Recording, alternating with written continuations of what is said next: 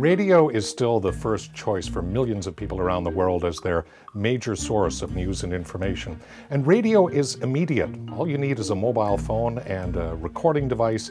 You can go anywhere in the world, get the news, and report it back to your listeners out there.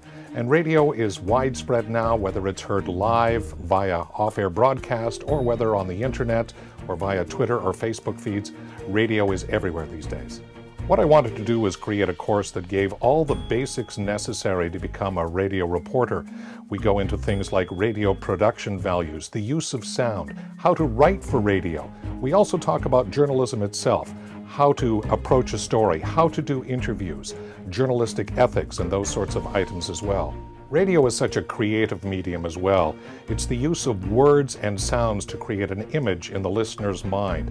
What I wanted to do in this particular course are bring together all of the items necessary so that you can become a radio journalist.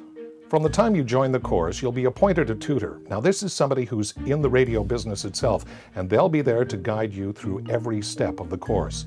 When you graduate, you'll have all the essential tools to become a radio journalist, whether you choose to apply to a radio station for a job, or whether you're looking for a career as a commentator, a freelance journalist, or indeed a correspondent.